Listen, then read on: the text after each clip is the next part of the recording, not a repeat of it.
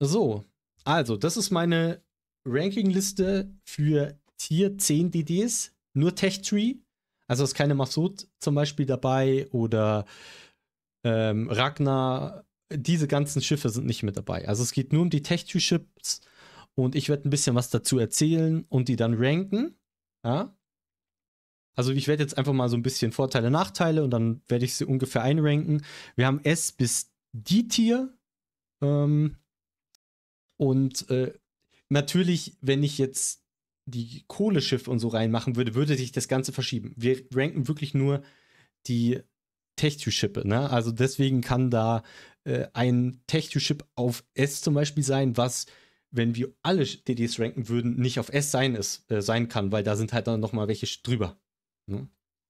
Gut, so viel zur Erklärung, man muss es immer erklären, weil manche sind da immer ein bisschen skeptisch. Verstehe ich, wäre ich auch.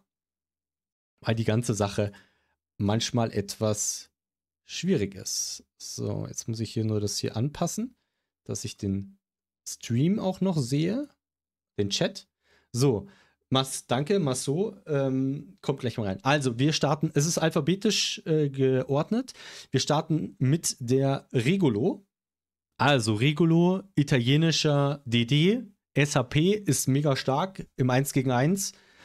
Crawling Smoke, Speed Boost, kannst du auch mal einen guten Top Rush machen sehr, sehr schnell auch. Consument ist nicht so Premium, ne? Also es ist bei äh, schlechten 7, glaube ich, so in dem 7er Bereich. Ich habe es jetzt nicht aufwendig drauf. Ähm, wenn du mal ein DD gecatcht hast, ist es natürlich sehr, sehr geil. Ja, dann kannst du ihn wirklich nuken. Er ist jetzt nicht so einsteigerfreundlich. Ja, du hast, du musst erstmal an den DD rankommen du hast Probleme mit dem Spotting, aber wenn du sie mal catcht, kannst du gut was machen. Zum Weiteren hat sie einen Buff bekommen. Du kannst jetzt Range mit ausrüsten, womit du auch inzwischen auch gut BBs farmen kannst, was sie ein bisschen aufwertet. Ähm, aber sie ist halt relativ schwierig zu spielen. Ähm, deswegen würde ich sie, also ich spiele sie relativ gerne, deswegen würde ich sie eher in B sehen. Ja, ich finde ich persönlich.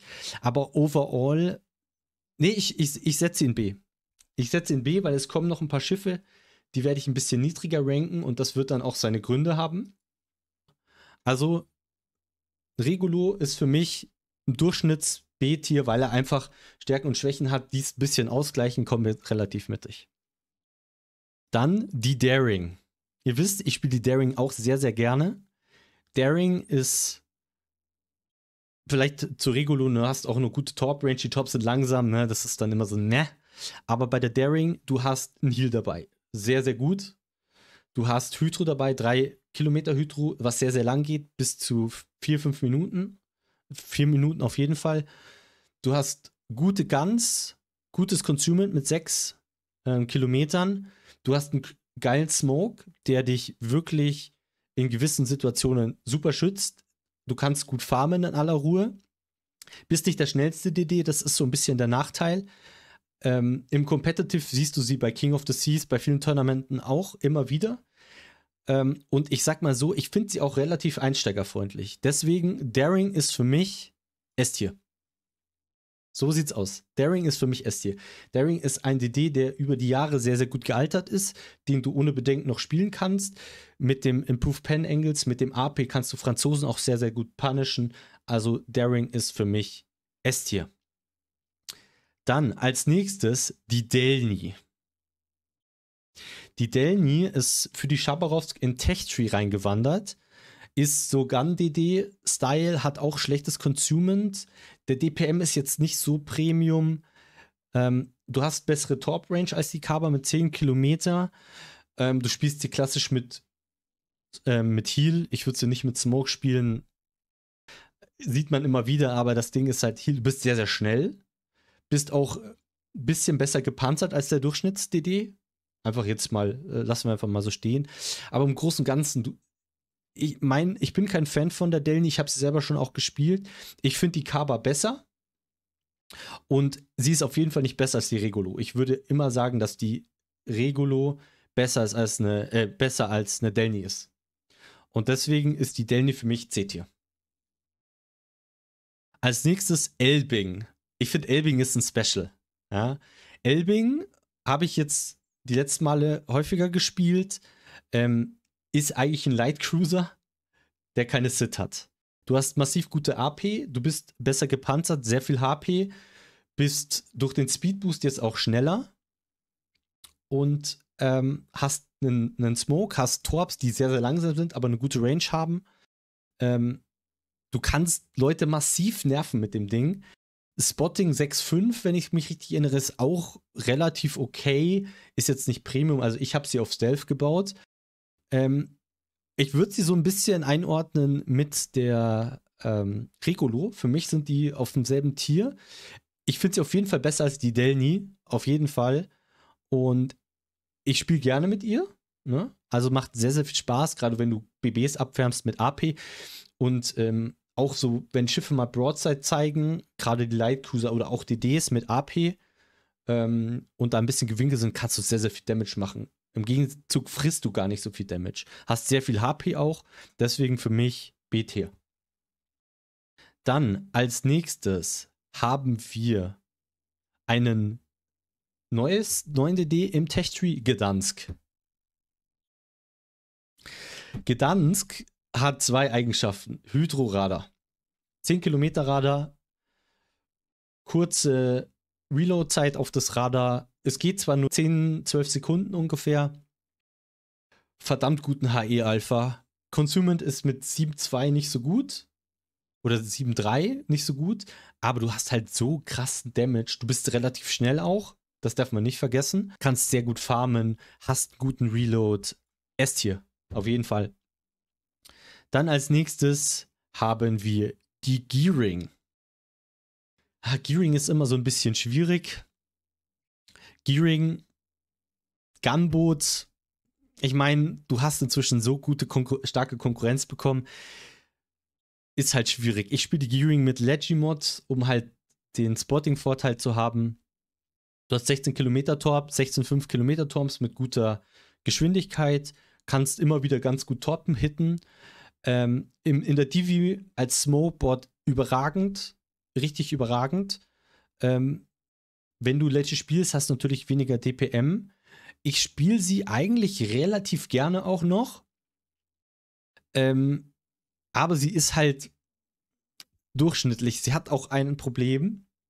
Sie hat mehr Panzerung als der Durchschnitts-DD. Nämlich 19 mm, wenn ich mich richtig erinnere. Das macht sie gegen AP von der Z, von der Daring sehr, sehr anfällig. Das, da, manchmal ist Panzerung nicht gut. Ja, in manchen Fällen ist es gut. Ja, gegen, gegen DDs, die nicht so einen guten Pen haben, HE-Pen, da kannst du dich winkeln. Aber overall, weil ich ein kleiner Gearing-Fan bin, ist die Gearing für mich B-Tier.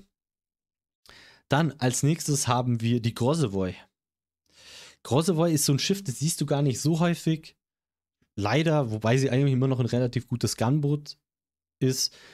Sie hat ein paar Vorteile. Sie hat einen Heal, sie ist sehr, sehr schnell, hat auch noch einen Speedboost mit dabei zusätzlich. Ähm, Damage ist gut, wurde gebufft, hat jetzt 12 Kilometer Torps, was sie auch noch mal ein bisschen aufwertet. Du spielst das Ding aber normalerweise nicht wirklich auf Torpedos. Du spielst es auf Guns. Lecce-Modul wertet das Ding nochmal richtig krass auf, weil du deinen Reload erhöhst. Dafür hast du halt best, schlechteren Torpedo-Reload, ähm, schlechtere Turret Traverse, wenn ich mich richtig erinnere. Aber ich würde sagen, overall ist die Grossevoy ein bisschen unterschätzt mit dem Heal. Ähm, ich würde sie ehrlich gesagt wirklich auf A ranken. Als nächstes haben wir die Haaland. Top DD, aktuell schwieriges Thema. Ähm, ja, viele fahren sehr, sehr defensiv, es wird viel gekitet. Du kommst nicht wirklich ran, du hast sehr schnelle Tops, das macht es nochmal wirklich gut. Du hast einen Heal, das ist auch immer nicht schlecht. Du hast decent Guns, du kannst relativ lange überleben. Und ja, also für mich ist die Haaland overall so ein bisschen auch ein C-Tier der Heal und die Guns, die okay sind, aber wirklich okay, drücken sie noch mal ein bisschen hoch. Dann haben wir die Haragumo. Haragumo, absolutes DPM-Monster. Consumant ist auch relativ solide bei 6,3 ungefähr in der Ecke. Ähm, Habe ich jetzt auswendig im Kopf. Ich, wenn du sie mit Legend spielst, verlierst du natürlich diesen Faktor, macht es nicht so geil. Ähm, du hast, wie gesagt, der DPM ist krass, du bist sehr träge, das ist so ein bisschen ein Problem an dem, an dem Ding. Und ja, das, du hast auch inzwischen sehr, sehr viele Gun-DDs. Wenn du im Smoke in Ruhe farmen kannst, kannst du sehr viel DPM machen. Äh, ja, also ich persönlich mag die Haragumo sehr, sehr gern. Dadurch, dass du sie auch im Team gut spielen kannst, äh, mit den Smoke, gerade mit Legi-Modul, ähm, ist die Haragumo für mich ein A-Tier. Kleber. Hey Leute, was soll ich euch zu Kleber sagen, ne? Kleber ist relativ schwierig zu spielen, gerade als Anfänger. Ja, weil du hast keinen Smoke. Ähm, du musst über die Geschwindigkeit machen, das machen. Das Kleber ist halt auch sehr, sehr schnell. Ähm, mit Speed Boost sehr, sehr stark. Äh, French Saturation, das heißt, ist sehr, sehr tanky auch. Ähm, hat massiven guten Top-Damage. Ist halt bekannt dafür, dass du gut rushen kannst. Topsets auf beiden Seiten und ist so unangenehm, gegen einen guten Kleberspieler zu spielen. Und äh, deswegen ist Kleber halt auch, weil sie so gefürchtet ist, wenn man sie gut spielt, äh, auch ein S-Tier. Und dann kommen wir zur Shimakase. Shimakase, gutes Konsum mit 5,5, muss man ehrlich sein, bringt dir gar nichts mehr. Du hast U-Boote, du hast so viel Raider im Game, du hast Carrier. Das, die Shimakase leidet darunter massivst. Massivst. Das ist so ein bisschen ihr Problem. Und ähm, ja, deswegen muss ich leider die Shima ins D-Tier packen. 12 Kilometer Torps ähm, bringen dir halt auch nichts, weil der Gegner mal wegkiten ist. Ist auch so ein bisschen das Problem. 20 Kilometer Torps gehen halt so früh auf, dass du sie gut dodgen kannst, sind auch nicht die schnellsten. Ist schwierig. Dann haben wir als nächstes die YY. Die YY hat so ein ähnliches Schicksal erleidet wie die Shimakase, dass du halt immer das Problem hast, die Gegner weghalten. Sie wurde nochmal gebufft, dadurch, dass sie einen Torpedo Reload Booster bekommt. Die Torp Range ist ein bisschen besser. Du kannst halt keine DDs torpen, das ist so ein bisschen Nachteil. DPM hat sie auch nicht. Du kannst sie mit Radar spielen. Du hast einfach die kurzen Smokes, die schneller nachgeladen sind. Die panasiatischen, die sind da relativ solide. Und ähm, ich muss sagen, ich finde sie besser als die Shimakase durch den Torpedo Reload Booster und gibt der YY ein schlechtes, schlechtes C. Als letztes die Z52. Z52, ich spiele sie super mega gern, ihr wisst es, bei mir im Stream wird immer Z52 gespielt. Die Z52 hat so ein bisschen das Problem, dass sie keinen Heal hat. Dass wenn ihr Hydro und ihr Smoke nicht ready ist, dass sie Probleme hat, ähm, wirklich Impact zu generieren. Gerade bei den vielen Gun-DDs. Du hast das Problem, dass durch das Radar, durch sehr viele Radar-DDs dein Hydro nicht wirklich zum Zug kommen kann. Klar gibt es immer wie Leute, die pushen da rein und dann kannst du sie abholen. Ähm, hast mal ein bisschen Glück. Deswegen, aber es wurde auch schon mal gedroppt. Fürs Teamplay ist die Z echt super gut, wegen dem 6 Kilometer Hydro. Du kannst gut äh, Tops spotten, ähm, kannst dein gut, Team gut abdecken. AP ist sehr, sehr stark auf der, auf der Z. Du hast so ein bisschen das Problem, dass das Kaliber auf der Z ein bisschen zu groß ist weil du auf Breitseite Cruise mal Overpants machst, äh, hast, struggles du ein bisschen. Aber für mich ist die Z ein Art hier. Ja, sie kommt nicht an die Daring ran, finde ich persönlich. Die Daring ist einfach noch mal stärker, was ein DPM angeht, mit dem Heal, ja, und den kurzen Smoke. Das macht sie einfach noch mal besser.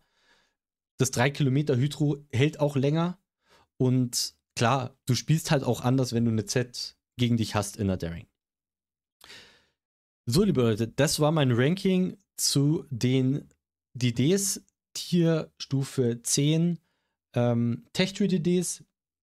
Klar wird der eine oder andere sagen, hm, sehe ich jetzt nicht so. Aber klar, jeder hat da eine andere Meinung. Jeder spielt seinen DD etwas lieber. Leider ist halt Torp DD aktuell nicht so meta. Und ähm, ja, das ist so ein bisschen das Problem.